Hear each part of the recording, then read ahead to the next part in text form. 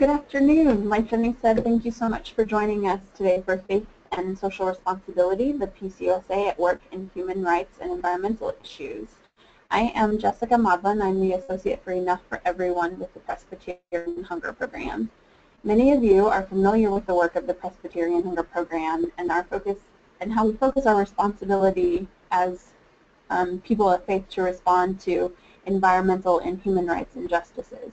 But we don't do that work in isolation. We do it through partnerships with people out in out across the U.S. and internationally, and we also do that in coordination with other ministry offices within the PCUSA.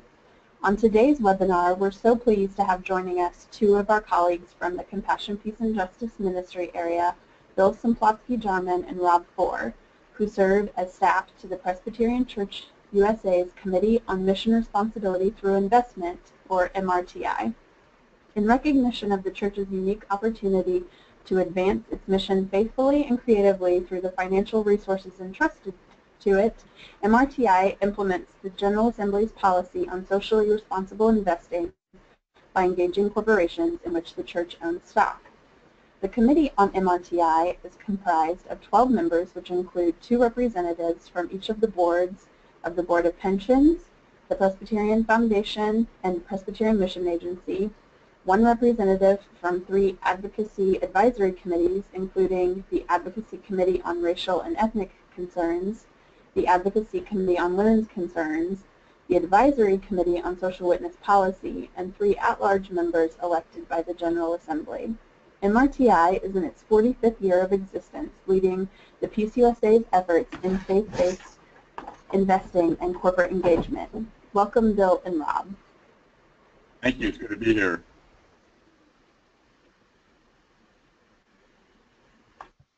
Um, okay, can you see here? I want to make sure I can see my screen.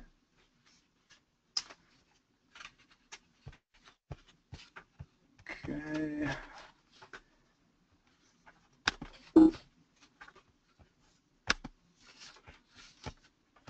Okay. Let's see.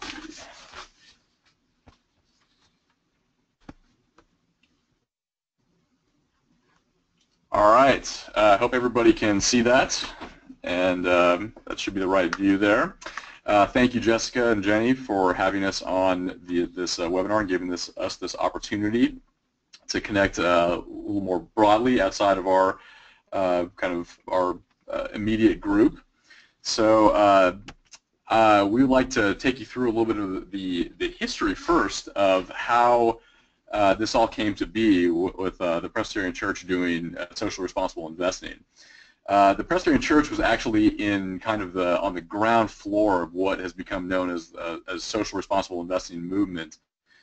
Um, starting off in which really got started in the kind of the late 60s and early 70s. And the first uh, GA policy is uh, on the screen there with uh, when, when, the church started thinking about its invested capital.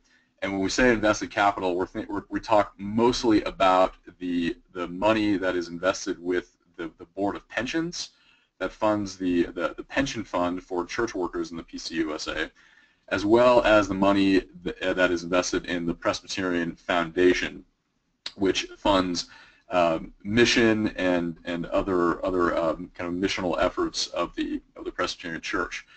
Uh, as of at any given time, the markets can be up or down, but generally we say those two funds combined are around $10 billion worth of invested capital in the markets.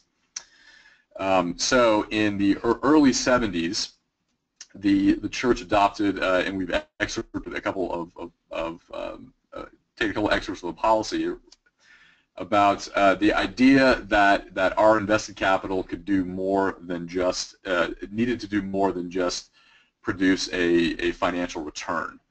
Uh, so the first one you can see here, and this is the idea that that our investments uh, are an instrument of mission, and include theological, social, and economic considerations.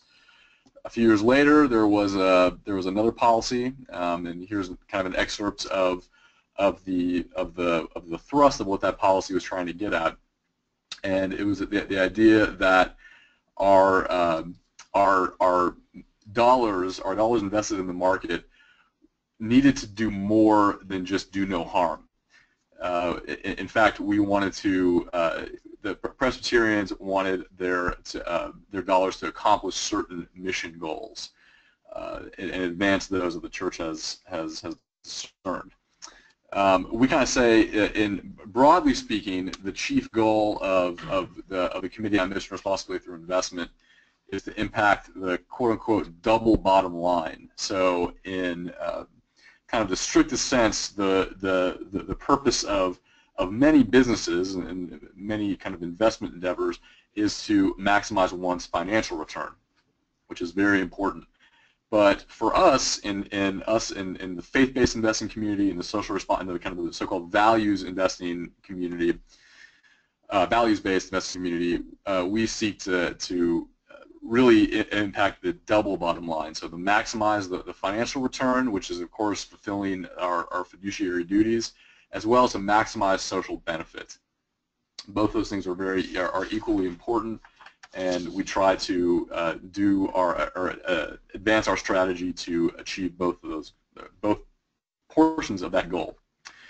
So specifically, the uh, the General Assembly mission goals have been uh, have kind of uh, have evolved over the over, over the years, but uh, the, the first ones basically were the pursuit of peacemaking, um, uh, advancing racial justice, advancing social and economic justice, advancing uh, environmental stewardship, and later came uh, advancing women's rights and protecting human rights as well. So those, broadly speaking, are the are the goals that all of our engagements are trying to advance.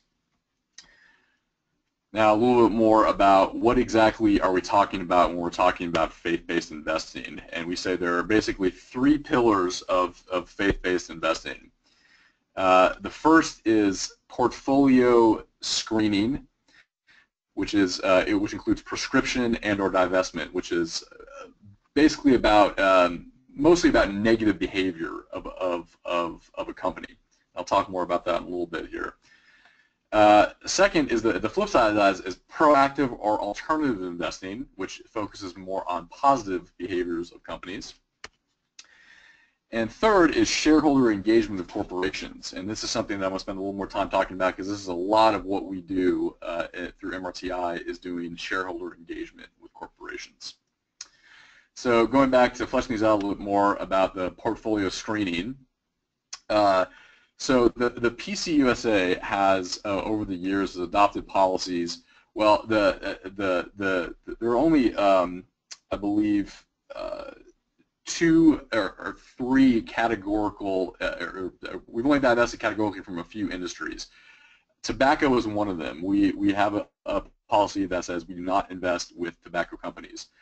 And uh, though there's never been a church-wide policy on not investing in alcohol or gaming stocks, uh, both the Board of Pensions and the Foundation have internal policies that uh, that kind of keep the alcohol companies and, ga and gaming companies out of our portfolio. Uh, the, the church has chosen to uh, divest uh, from military-related companies, and the actual policy is any company that uh, 50% uh, or more of their revenues come from military-related um, kind of pursuits we don't invest with. And third, we also have um, we've divested at various times about on, on human rights abuses uh, started first in, in South Africa in the 70s and 80s, and later Sudan, and most recently uh, Israel and Palestine. At our last uh, last General Assembly in 2014, General Assembly voted to divest um, from uh, Caterpillar, Motorola Solutions, and Hewlett-Packard because of their uh, non-peaceful pursuits in uh, in Israel and Palestine. Um, they, there's actually a fourth a fourth uh, I think I believe it was a fourth categorical divestment which the Assembly has chosen, to, uh, another uh, industry that the Assembly has chosen to divest, which is for-profit prisons. And that happened at uh, the 2014 Assembly as well. So all in all, our uh, committee puts together a, a proscription screening list or divestment list that we produce every year that includes uh, that includes all the companies that are that are not in compliance with our the various policies the church has taken. And in 2016, 2015, the, the, the list gets developed and kind of later in the year, so we say it's our 2015-2016 list. That includes 50 companies. So there are 50 companies that, that are not on uh, that, that, that, are on our proscription list for, for this period of time.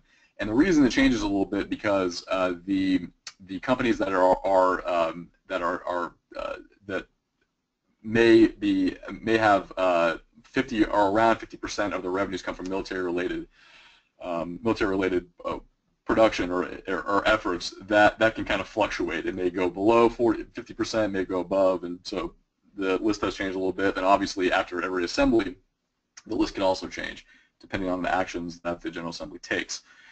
So all in all, 50 companies uh, in in this year. The rest, the, rest, every other company the our uh, the, the, managers of the board of pensions, the fund managers of the board of pensions, and the, the foundation are free to invest with. So that's kind of gives you an idea of the of the of what we're talking about when we're talking about our investments in which companies. So unless they're on the, the, the proscription list, our managers are are free, or the managers of the board of pensions and the foundation are free to invest in those companies. Second, again, we, we talked about the other, the second pillar is the proactive or, or, or alternative investments. You'll see here a policy that 10% of the General Assembly's unrestricted assets are eligible for investment in community economic development. Um, so these types of, of investments are, we use the Oikocredit as an example here, and I believe the, the foundation does have a, a, a small percentage of its, of its uh, funds invested with with uh, Oikocredit as well as um, some other uh, uh, companies that are their their purpose of their company is to is to um, uh, address some some uh, some social uh, issue. So the, these could kind of be, and the whole idea about positive investments or alternative investments is that they they may generate a lower return. Um, however, that, that but it, it is it is acceptable for a low return because uh, for a lower return if, if a small percentage of the fund or, or a or the portfolio is invested with these companies because we want to support what they're doing. Um, having said that, there have been some quarters, especially when the market is down, where these alternative investments actually outperform the rest of the market. So it's not completely a financial uh, a, a financial risk all the time, or an increased financial risk all the time. Third area, third pillar again, is uh, shareholder engagement. And as, as part owners of a company, shareholders can engage companies to encourage policies and practices more in line with their values and ethics that address pressing issues in society. So again, this is where a lot of our a lot of our work of MRTI is kind of done, is through shareholder engagement. And uh, uh, the, the the uh, Security, uh, Securities and Exchange Commission, or the SEC, is the agency, the governmental agency that regulates the uh, all, um, uh, you know, the, the, the, the, markets and invested capital in this country. Um, they, uh, according to SEC rules, a shareholder just needs to own $2,000 worth of stock for one year. And the value, it needs to be enough shares to have the value be $2,000 worth of stock for, for one year uh, and if, if that if that and and if those two things are met, any shareholder can can file a shareholder resolution or sometimes called a shareholder proposal. So I'll talk more about that in a minute, but I'll talk a little bit more what shareholder engagement looks like. Sometimes we call this becoming an active owner. So again, uh, many many uh, people who have um, both institutions and individuals who have investments in, in uh, with, a, with a, a certain fund manager uh, aren't necessarily active owners, and uh, we'll talk a little more about how that how that can happen. So, uh, proxy voting. So, uh, a, a, proxy uh, is a basically a a ballot that that the company produces every year for their annual meeting, and includes uh, shareholder resolutions. Uh, some are generated by the company that that have to do with um, executive pay or electing board members and others are generated from other other shareholders. Um, uh, correspondence, that's kind of the, the, the, the first step of, of shareholder engagement. So when, when we are, are looking to, to engage with a company, the first thing we do is is we correspond with we send a letter to their to their CEO or their investor relations office to say that you know say who we are, we're long-term investors and we are, are interested in a particular issue. That may lead to a, a dialogue, um, dialogue or meetings with management, and it often does.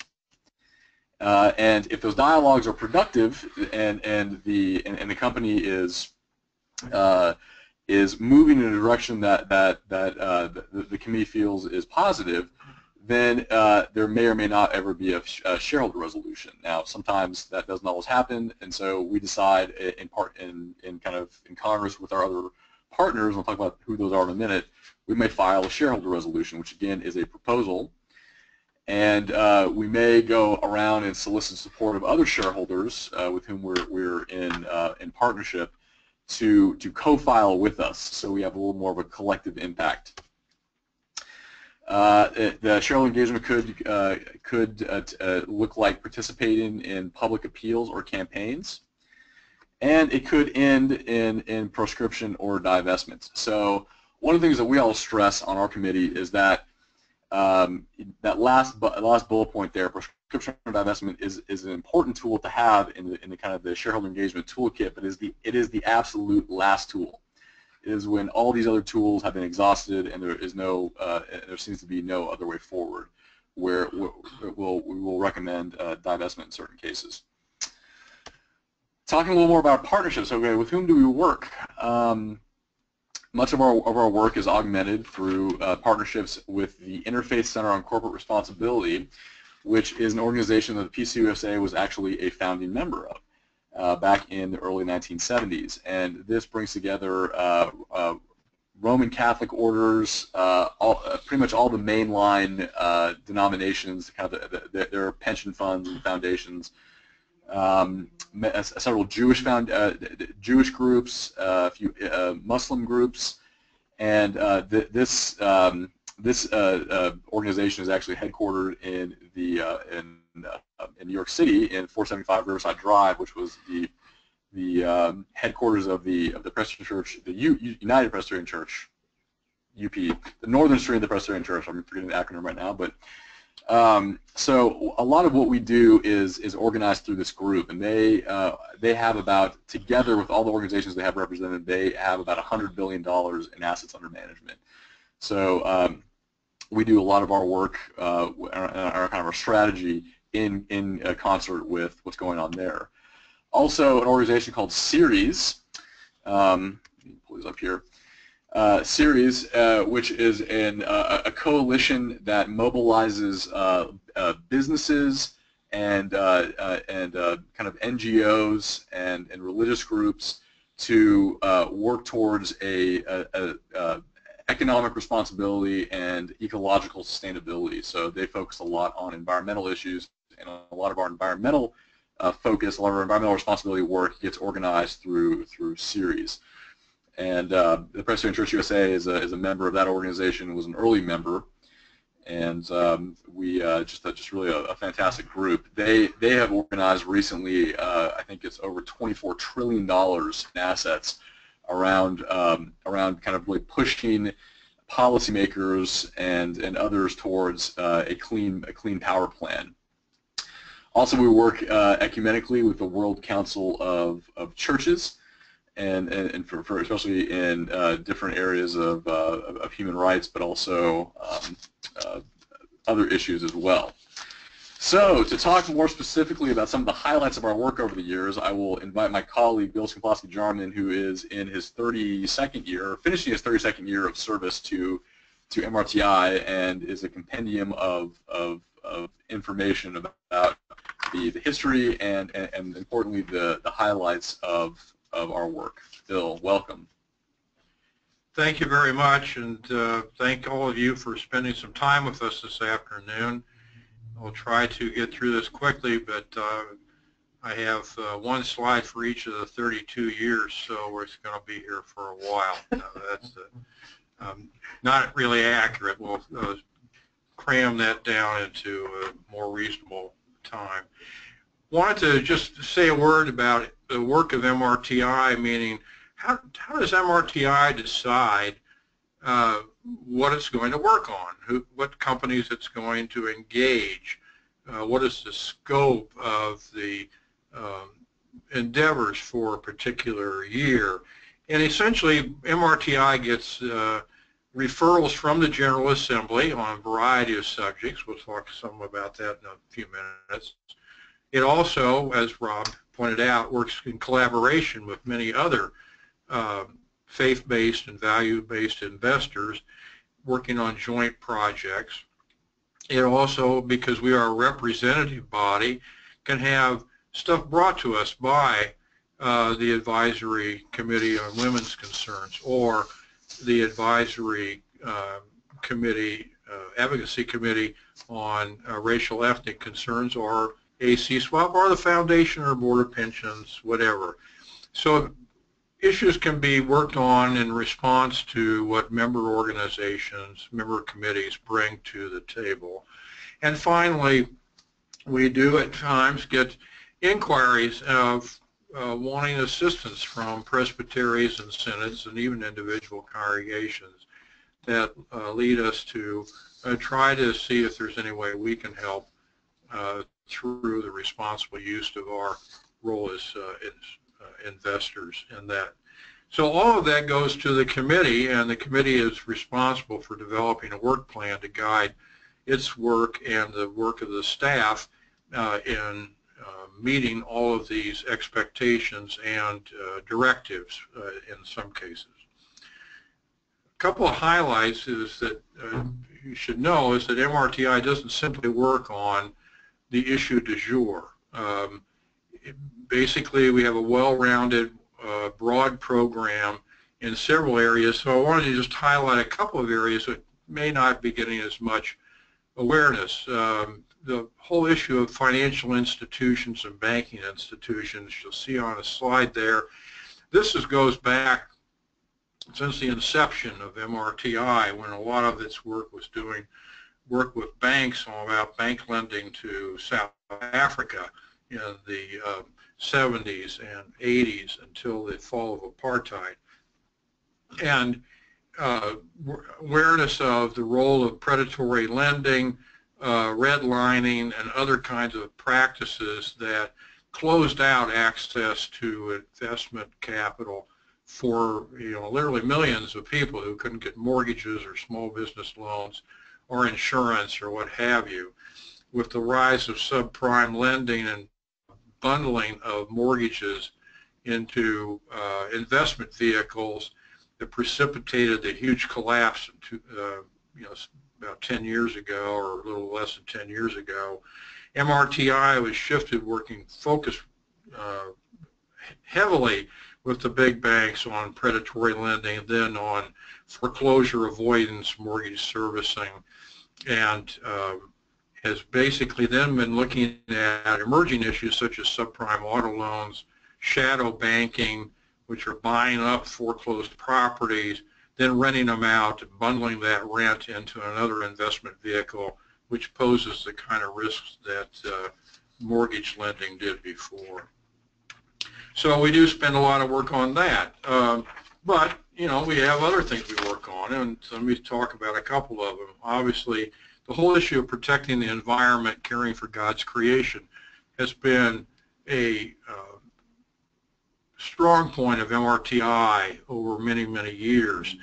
In particular, in the late 1980s and 1990s, um, more work was done on this as the uh, church began partnering with affected communities where there were uh, placing hazardous uh, factories, et cetera, in largely areas for communities of color and low to moderate income people who didn't have political clout to be able to uh, defend themselves against uh, these encroachments. Um, we did a lot of work in in meeting with refineries and uh, in the Bay Area, the Houston area, et cetera, uh, with a number of coalitions working on uh, trying to protect protect those local communities and on safety and health for the workers.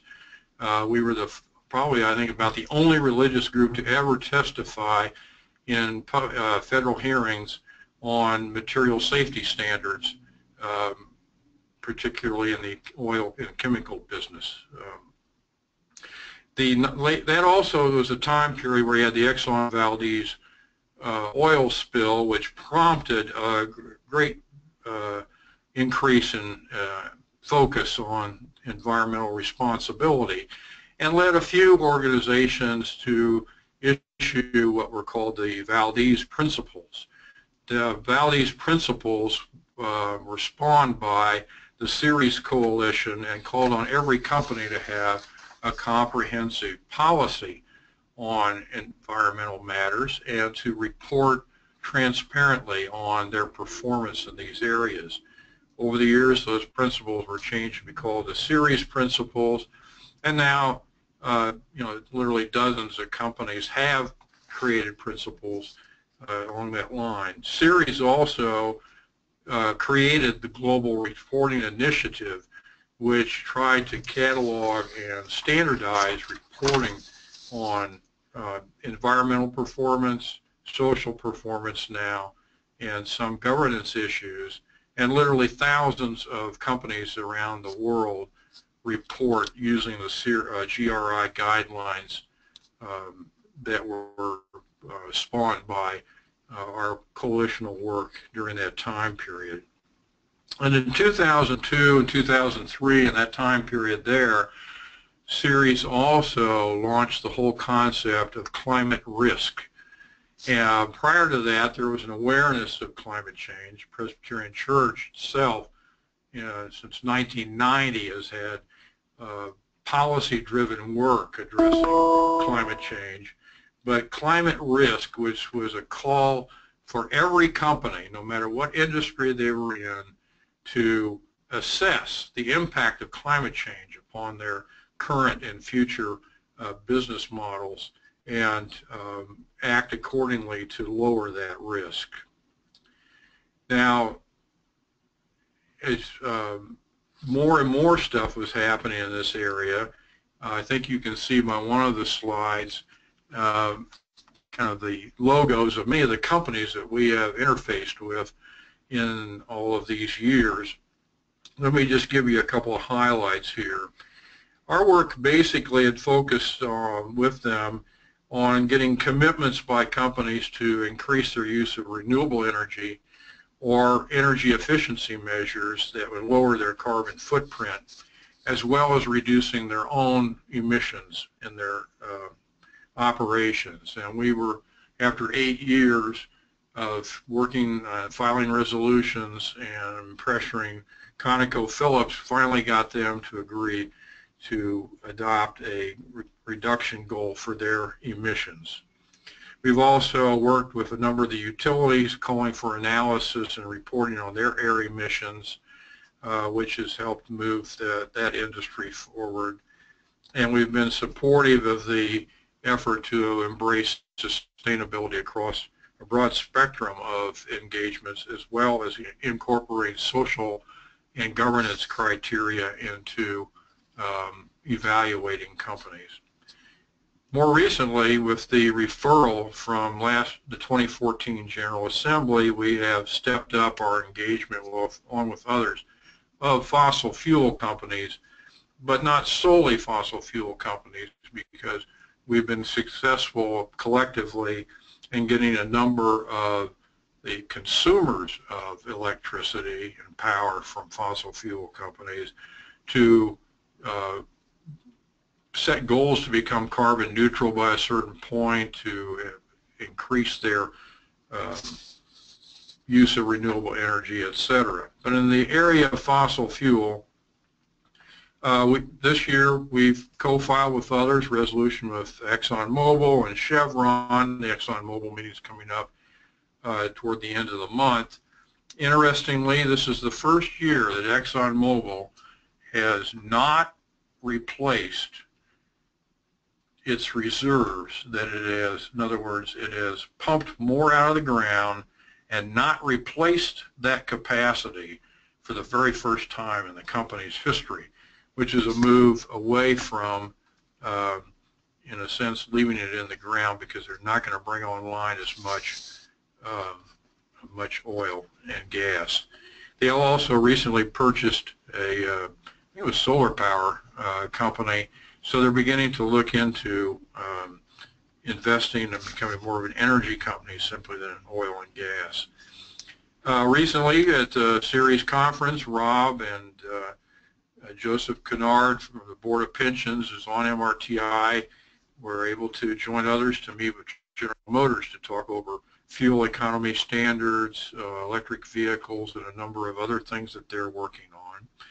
Uh, Noble Energy, uh, our resolution got a quarter of the shareholder vote uh, this year about um, carbon asset risk to the company if uh, as climate change calls for increased uh, shifting immediately as possible toward a uh, low carbon future. We've also had uh, dialogues with Phillips 66 that have led to laying out a whole series of meetings coming up over the coming year about that and engage others like Marathon Petroleum, etc. We've also continued to monitor companies we've worked with before, CF Industries, where we had 67% of the shareholder vote calling for them to report on their environmental work, has issued two or three reports, and we've been monitoring that and engaging the company, trying to make the reports more uh, robust. Uh, so uh, let me say that we will be bringing to the GA in um, this July, or June rather, a re, uh, re, report on the work that was been done by MRTI uh, in light of the referral of an overture from the previous assembly which called for the categorical divestment of 200 the 200 largest oil, gas, coal uh, companies in the world. And our recommendation is uh, do, it working on twofold. First of all, we're actually asking all companies to step up to the plate and become more responsible in their work, not just simply the supply side of the equation, but also the demand side. So as the demand for renewables and uh, climate-friendly energy policy, uh, products will increase, the supply is going to increase as well, and the supply of fossil fuels will continue to dwindle. The other thing we're trying to, we've done is we've staked out a whole series of criteria which will make clear our expectations of all these companies and provide the committee with the um, means to be able to bring future recommendations to the Assembly for uh, possible divestment based on objective standards and a evaluation of the companies according to them. Uh, the GA has no official policy that's been adopted up till now about all the uh, what energy is per, sources are permissible or which ones aren't and this will help us be able to um, bring um, recommendations that will be stand the test of time and the light of day, so to speak, when we evaluate these companies.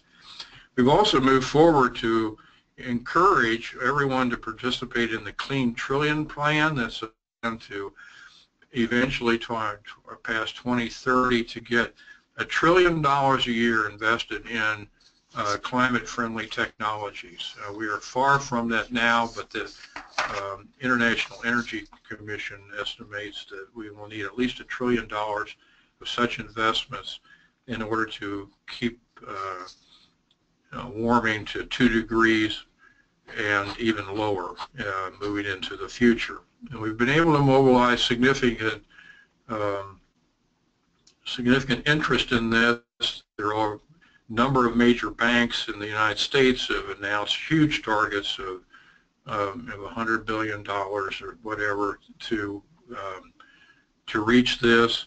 Uh, a number of other companies are pledging to get involved. There's been a lot of work of trying to create investment vehicles so that smaller investors can also invest in it as well. And we've been moving steadily on the public policy front so that the Paris Agreement from last December which sets us on a path to converting our uh, energy system from fossil fuels to renewables was supported by dozens of, not hundreds of companies, uh, as well as the ones that have come out in favor of the Clean Power Act here in the United States um, against a lot of opposition. So that's it on the environmental side. Now let me just address a couple of things. I'm sorry to keep going on here, but about the trafficking side. Let me just simply say, here we are. We have a, highlights of uh, MRTI's work in protecting and respecting human rights. Essentially, uh, what uh, the current uh, kind of uh, policy called the Ruggie Principles, which were developed by the United Nations, calls upon governments to protect human rights, it calls upon corporations to promote human rights, and it calls upon everyone uh, to ensure that there are mechanisms for the redress of grievances when human rights are violated. And we have been working in this whole area uh, since the inception of MRTI uh, back during the uh, South Africa days, 1971-72, moving forward. Over the years, MRTI has um, accomplished a number of things with this work. Uh, we have focused on the whole concept of forced labor, particularly in places like Burma, um, where basically people are, compelled, it's virtual slavery, uh, to trafficked labor, uh, where uh, what we've been advocating, for example, recently, is a policy uh, for companies to not employ people who have been required to pay fees in order to get the jobs. Um, we found, for example, you know, literally hundreds of, of uh, Filipinos were brought into Israel to harvest crops in the occupied territories in the uh, Jordan Valley. And on average, in order to get that job, they've had to pay $4,500 to a labor broker. Uh, then they begin uh, working and they're cheated out of their wages and whatever and never really get out of out of that debt. It can it's hard for them to pay it off. Or situations where people are brought to Jordan, for example, from Bangladesh, and immediately have their passports taken away, and they have absolutely no recourse, no protection, um, and can be deported at any moment, uh, can't even circulate around the country. Uh, the inability to gain, gain protections that comes with this type of uh, human rights violation is very important.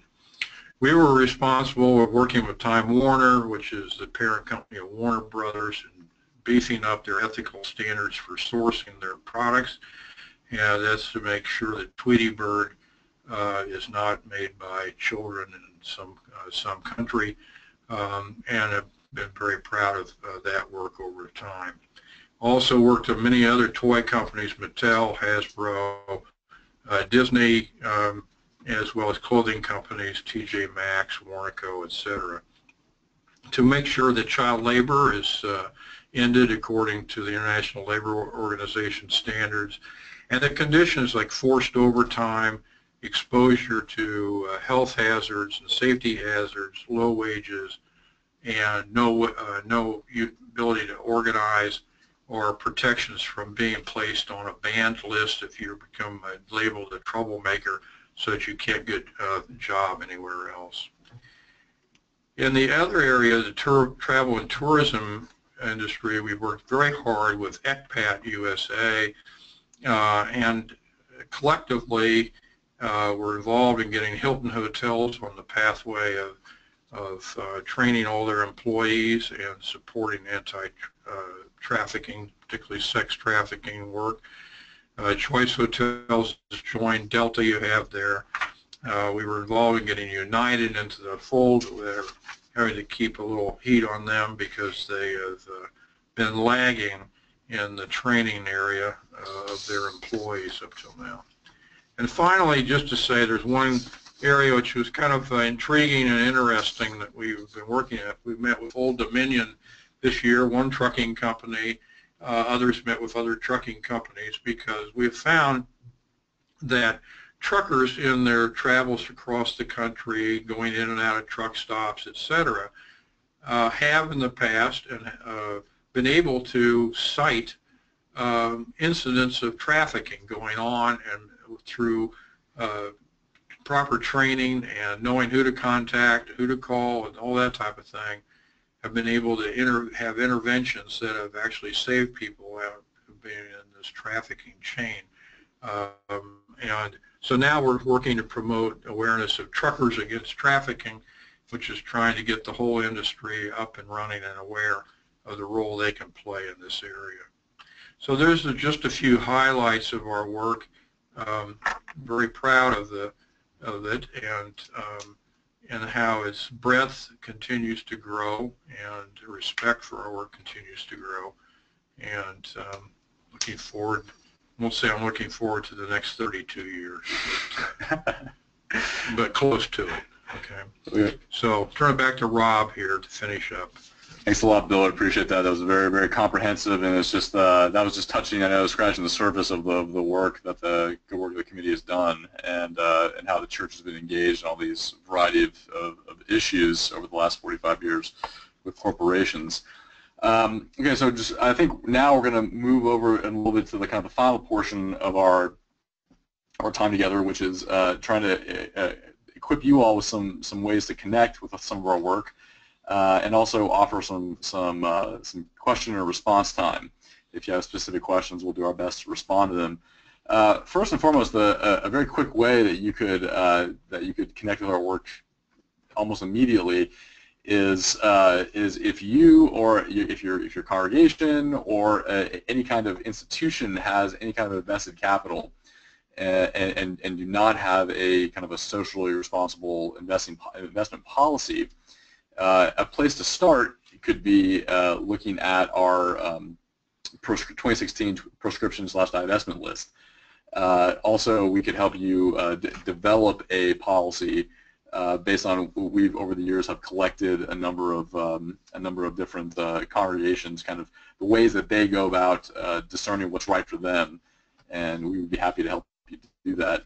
Second way is, is to engage in active ownership um, of, of, either your personal or your, your congregation's investments through implementing the, the 2016 proxy voting recommendations, which every year uh, MRTI goes through all of the all of the uh, the, the the proxy uh, the, kind of the the issues the the, the resolutions that are, are uh, organized by the Interfaith Center on uh, Corporate Responsibility community. And determine which is the best way we recommend that that uh, both the Board of Pensions and the Foundation vote, but then also make that available to the rest of the PCUSA congregations and, individuals to to to vote when it's time during um, any during the, the, the, annual general meetings of these corporations. Um, so that's some of the couple things that we can do uh, that you, you could do um, immediately, and at, at the end we'll uh, I'll, I'll tell you a little more how you can get that. But right now I think we want to move to uh, some question and response time. And I think uh, Jessica is uh, tracking those, the questions. Yeah, um, and um, I wanted to say too about the, the two lists that Rob has mentioned. Um, we will be sending a follow-up email to all the folks that are registered, um, and we can share those with you so that you will have them along with a link to this presentation.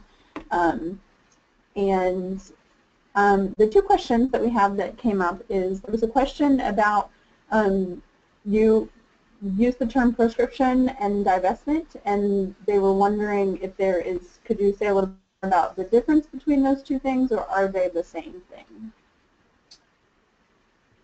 Proscription and divestment, yeah. Yeah, uh, essentially they result in the same thing. Proscription is a, uh, say a listing of companies or an industry that you do not want investments in. So, for example, tobacco, you might say, because we don't own it, it's a proscribed category now. Divestment is when you actually own the stock or are invested in an industry and then decide to sell it. And once you have done that, you have divested yourself. So essentially, uh, whether you call it proscription or divestment, it's belief that you do not want to own that stock um, or buy that stock.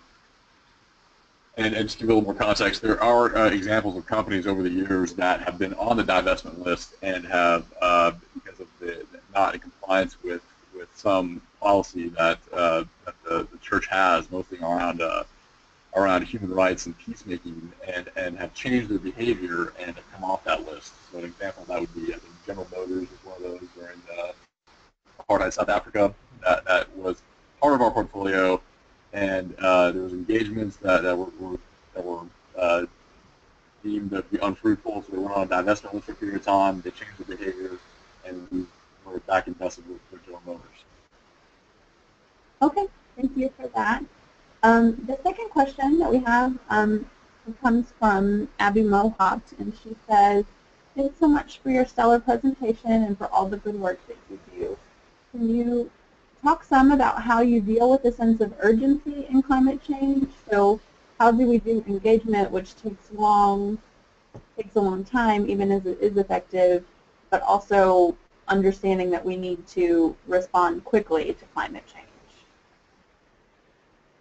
I think that you'll find that the, uh, the committee, and not just us, but many other investors have ramped up uh, an extraordinary amount their commitment to time and energy and to finding creative strategies so that we don't get diverted necessarily into uh, areas that are not going to be as productive over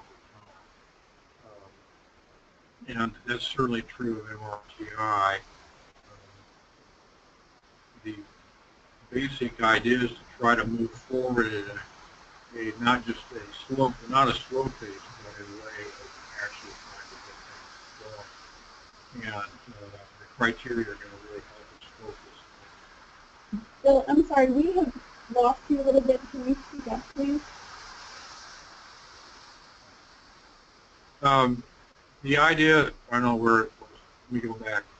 Uh, we're trying to focus in on what is going to be um, a ramped up collaborative effort by many different investors, public pension funds, uh, religious investors, uh, colleges, universities, and other institutions to not not simply take uh, actions which are then going to uh, remove us from our collective effort to really try to move us toward a low carbon economy. And I know a number of companies and other investors have put in screens, but the screens have done nothing except uh, keep them from investing in a few companies. There's no increased pressure on those companies, um, in large measure because they even keep secret the fact that they've divested of them. So uh, our effort is going to be very public. It's going to call for uh, the accountability by every, all companies, not simply fossil fuel. And when uh, recommendations get made, they're going to be made with the strength of uh, GA improved criteria and a rigorous analysis of whether a company is committed to or moving toward uh, fulfilling that criteria. We think that's a better way of spending our time and energy rather than um, the approach right now of trying to deal with all the uh, ancillary areas that will come up with uh, blanket divestment.